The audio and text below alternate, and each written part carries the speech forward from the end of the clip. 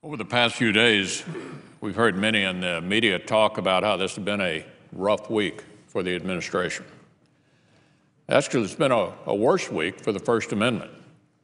On Friday, we learned that just as we'd been told by our constituents, the IRS deliberately targeted conservative groups across the country in the midst of a heated national election. Over the weekend, we learned that the extent of it was even broader, even broader than we originally thought.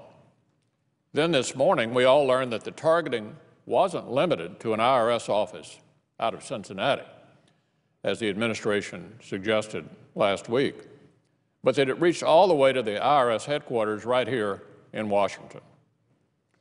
What we don't know at this point is whether it jumped the fence from the IRS to the White House.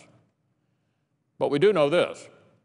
We can't count on the administration to be forthcoming about the details of this scandal because so far they've been anything but.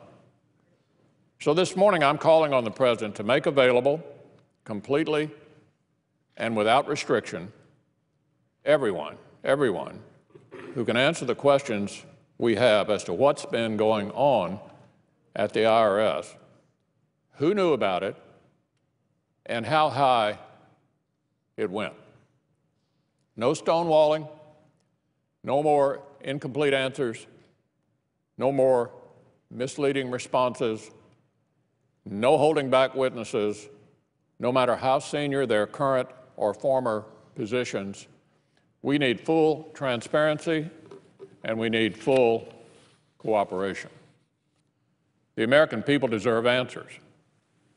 The answers that the IRS has now owned up to and that were uncovered by their own inspector general are an outrage, an absolute outrage. We now know that the IRS targeted groups for using such terminology, terminology as, get this, we the people, and for educating folks about the U.S. Constitution and the Bill of Rights. I mean, you can't make this stuff up.